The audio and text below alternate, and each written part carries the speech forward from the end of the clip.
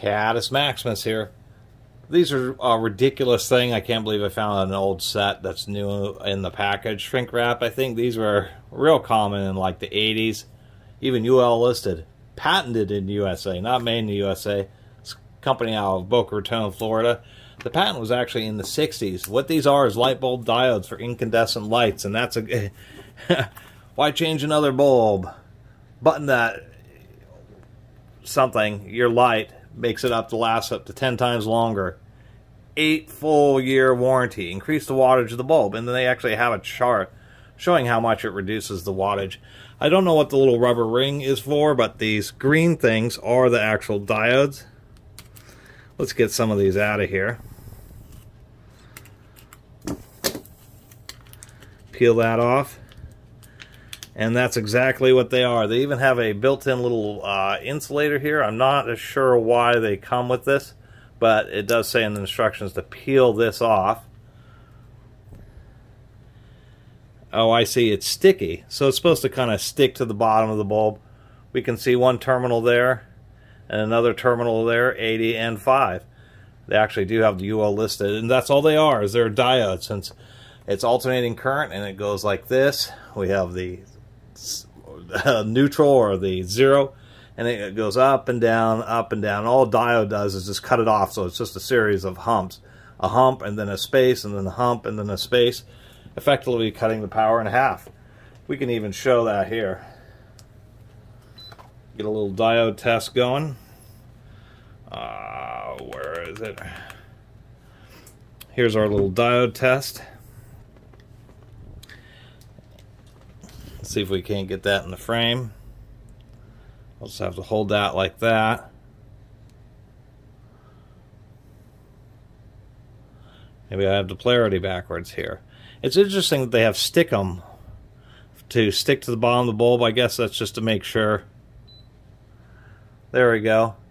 Half full of breakover voltage for the diode. And that's all it is. And so if we uh, actually take a look here, once again, this is just a weird rubber ring. I have no, maybe it's just to prevent um, moisture or something from getting in the light socket so that these little diodes will last longer. Anyway, I'm going to actually leave these lights on just because my camera should adjust to it better. That's a 100 watt bulb. Going to leave it on for very long. It gets hot fast. So the idea behind these is that they're simply cutting the wattage in half, extending the life of your bulb, and then they tell you to double the... Uh, the wattage of your bulb. And so what ends up happening is since it's an incandescent, you know, you put the little rubber ring on like this, but since it's an incandescent, yeah, that must be the case. It, it must be the case that they're just sticky so that it's easier to get them installed. Anyway, I don't even know if the socket will use them. One of the issues is, of course, they stand off in the bottom of the bulb. Many sockets like this, the little side terminal just doesn't extend up very far and the light bulb may not even make contact with it, and that may be the case here. So the idea is is that it makes the uh, actually that ring seals in the socket pretty good. So we're gonna get that in there pretty tight. It does work, and we can see that this is a bit more orange and definitely a bit dimmer. And that's how they extend the life of your bulb for so long is the simple fact that you're taking a bulb and running and half rating it, making it run at half the uh, power that was designed for, resulting in a lower color temperature. It's probably going from 2700K to 2500K, uh, all the way down to like 2200K. So you get a little bit yellower of a light, which some people may like. It's one of the ways that you can adjust the color temperature. But then you're taking a, then the light bulb is essentially overrated. You have a filament, like in this case, a 100 watt bulb. I think that's a 100 watt, it's a 100 watt Sylvania. You have a 100 watt filament that now you're running at effectively 50 watts. And so since the filament's a little bit extra th thick for a 50 watt low or uh, output, it allows the filament to last a really long time. Now if we connect this again, we can obviously see how much brighter it is, and it's a bit wider. We'll go back again to our little diode. We don't need to use that rubber ring. I haven't. I think it's once again just to help prevent corrosion of the contacts. There's our diode, and we can see it's much yellower and a whole heck of a lot dimmer.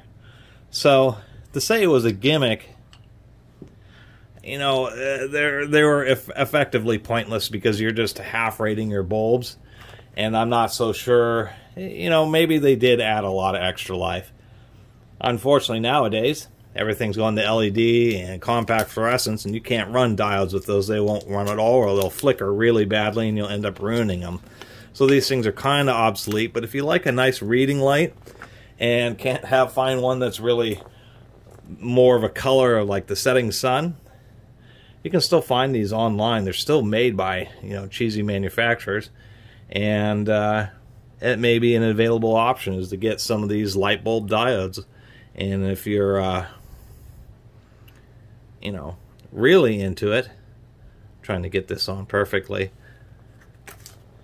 maybe you can find some of the more popular ones, like the button. Interestingly enough, that is a big array of light bulbs. It would certainly suck to have to install those. Maybe that's the point of the ad. If you got that many bulbs to change, you would want to put diodes in there. Anyway, I really appreciate everybody who's been watching and subscribing. If you haven't subscribed, please do. Till next time, Catus Maximus out.